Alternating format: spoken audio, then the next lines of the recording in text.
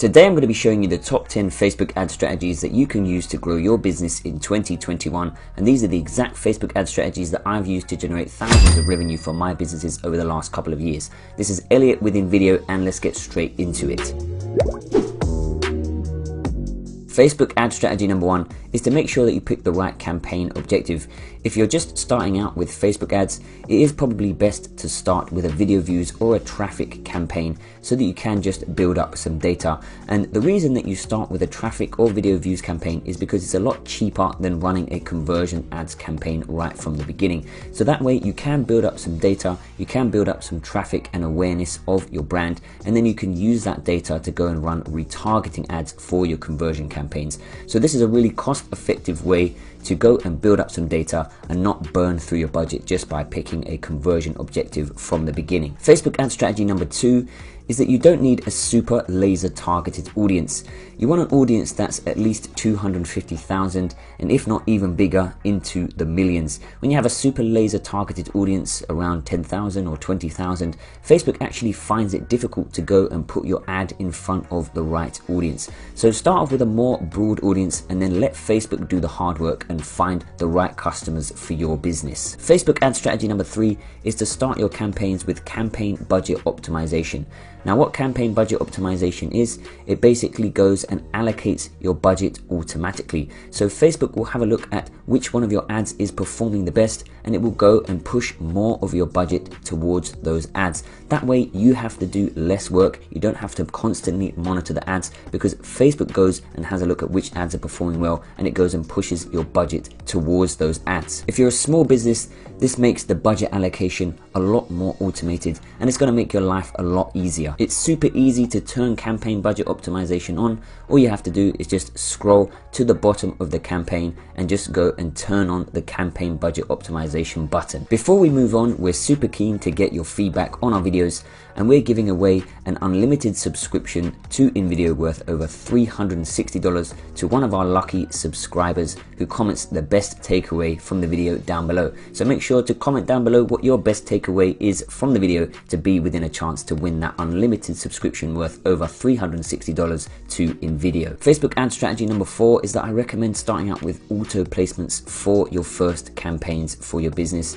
And the reason that I recommend to do this is because then you can go and see where your ads perform the best. It's better to start off with the broad options and then you can go and hone in your campaign afterwards once you go and have a look at which ads are performing the best. You can always then go and switch to manual placements. So for example, maybe your ads aren't working as well on the audience network. So then you can just go and turn these placements off. But like I said, if you start out with the auto placements, you can see how your ads perform in different areas on Facebook and then you can go and hone in your strategy afterwards. Facebook ad strategy number five is to use dynamic ad creatives. And what dynamic ad creatives allows you to do is go and add multiple different creatives and multiple different types of copy. And then Facebook will go and mix and match those creatives and that copy and show them to different audiences and different potential customers. And this way you can go and test out multiple different creatives and multiple different types of copy for your ads. It's really simple to go and set up dynamic creatives within your ad set. All you need to do is just go and turn on this button that says dynamic creative and then just click on continue.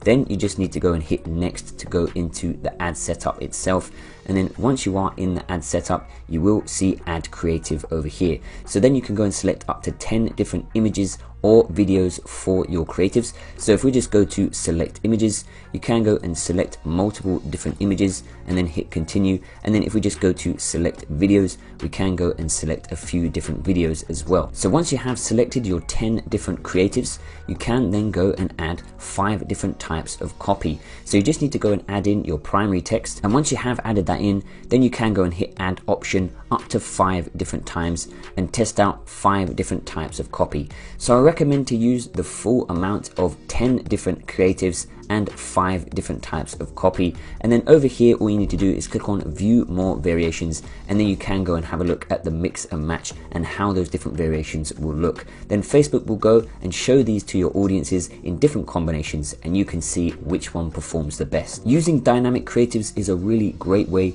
to test different types of copy and different ad creatives. And that way you're going to see which one performs the best. And then you can go and try and scale the ones that are performing well. Facebook ad strategy number six is to use short and catchy ads. Right now, we live in a world where people's attention is constantly being grabbed from different directions. So, if you don't capture your customers' attention right away, they're just going to scroll straight past your ad. So, I recommend don't making your ad any longer than 45 seconds, but really the sweet spot is between 15 and 30 seconds. And make sure that you're adding captions to your ads as well, so you're constantly capturing the audience's attention. You don't want the scenes for your ads to be any longer than 4 to 5 seconds, so just bear this in mind when you are creating your ad creatives. Facebook ad strategy number 7 is to create for mobile first. A staggering 98% of all Facebook users access from their mobile, so if you're not creating for mobile first, you're just getting it all wrong. An easy way to do this is to create your videos using the one by one aspect ratio, and this is perfect for mobile. If you're enjoying the video so far, make sure to subscribe to the channel and comment down below your biggest takeaway from the video because we're giving one of our lucky subscribers a free unlimited subscription worth over $360 to InVideo from the comments down below with the best takeaway from the video. For Facebook ad strategy number eight, let's go and have a look at some ads that are performing really well. Firstly, we have an offer ad. So you can see this offer ad over here from the Protein Works. And this is a really simple ad to go and create. All they have is some text and it's just flashing and that just captures the customer's attention. So these offer ads are working really well at the moment. So go and think about how you can go and bundle your products together and create an offer ad that you can run on Facebook. As you can see, the ad is really short, so it doesn't need to be anything extravagant. You just need to go and create an offer for your product or service and then you can run ads to this offer. Next up, we have testimonial ads and these types of ads work really well. So you can see this ad here from FitTrack and you can see this is just a woman that has purchased FitTrack and she's just giving a testimonial of the product itself. It's a really short, snappy testimonial, so that's all you need to go and create. But this just allows you to introduce your product or service in a really natural, organic, and trustworthy way to your potential customers. So you can go and send out your product or give your service for free to an influencer, let them go and create this testimonial ad, and then you can use that as your ad creative. Next up, we have text based benefit intensive ads. Once again, these are really simple to create. So we have this ad over here from Luma's Gallery, and they are just outlining the benefits constantly throughout their ad.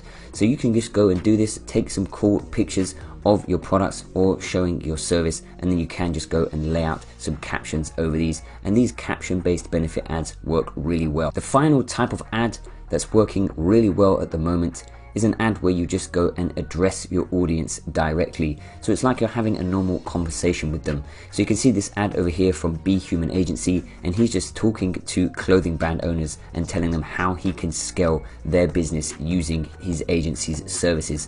So this is a really great way to build trust with potential customers and you just go and introduce yourself to them in a very natural and organic way. These ads are super easy to film. You just have to go and film yourself talking to the camera and addressing your potential customers' problems and how you can go and solve those problems. I'll leave some links in the description below to some templates that you can use. So you can go and create all of these types of ads for your brand using these templates. And it's really easy to go and edit all of these templates. You can edit the text you can edit the captions the colors. You can go and add your own footage using the InVideo stock footage library and you can go and change the music. You can even go and add your logos to these templates. So like I said I'll leave a link in the description. All you need to do is just go and sign up for a free InVideo account and you can start editing these templates for your brand. If you're interested in finding out about how you can use thousands of free templates, then check out our other video on how you can do this. Facebook ad strategy number eight is to use brand partnerships. And this is a super exciting method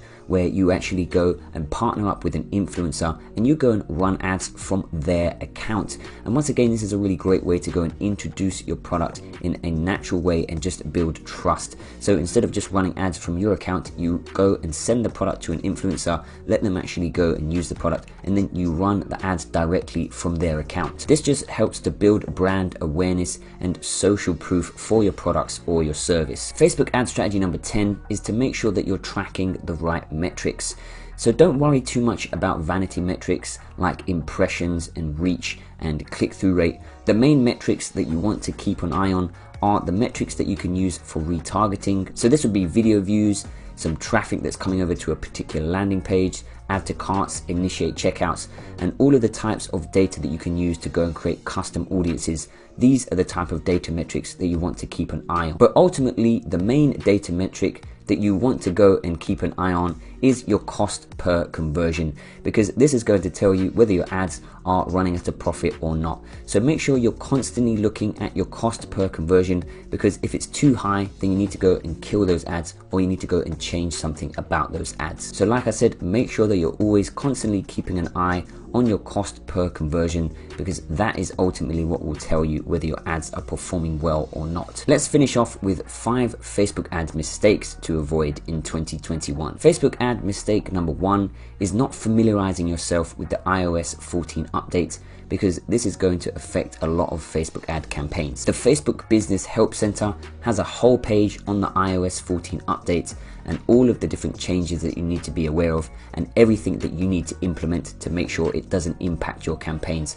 So I'll leave a link in the description to this page and you need to just make sure that you go and read this back to front so that you are prepared for the iOS 14 update. Facebook ad mistake number two is just generally creating boring content.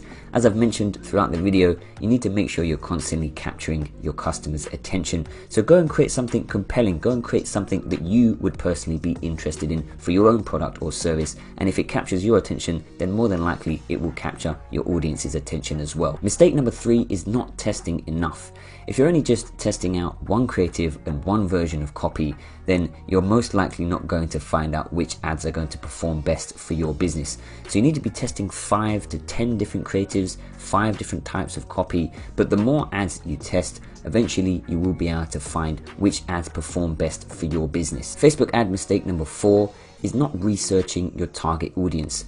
So I recommend that you create a buyer persona so you know exactly who your ideal customer is and then that way you'll be able to better target them using the Facebook interests, the Facebook behaviors and the different demographics such as the location, the age and the gender. Make sure you've done a fair amount of research before running your ads otherwise you can waste your budget very quickly. And Facebook ad mistake number 5 is not testing out your landing page.